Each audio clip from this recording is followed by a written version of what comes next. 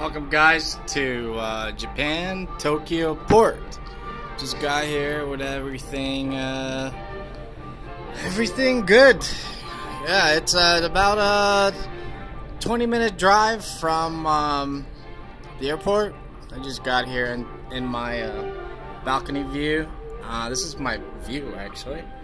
And that is the center of uh, Tokyo, I think, or next to the port. They're having a party. You can see Japan Coast Guard to the right. And uh, this is my view, you know, not complaining much. Pretty nice.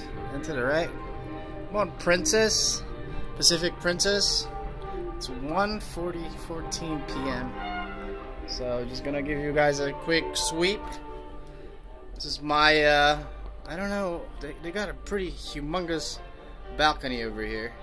Pretty humongous. A pretty humongous uh, TV right about here. And uh, I don't know how many inches that is, but you know, Japan, it's all about um, high tech. Everything high tech. So, um, this is basically what it looks like. And, uh, and today, I'm in Japan. Tomorrow I'm in Taiwan and then South Korea and this itinerary is just nuts.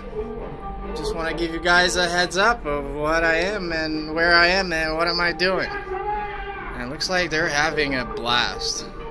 Oh yeah, oh yeah, oh yeah. And I did stop to a Japanese bathroom and they do have uh, some kind of sprinkler that went that that went and did a cleanup down there after I had uh, some business to do there. So everything's very electronic here, which is pretty freaking awesome.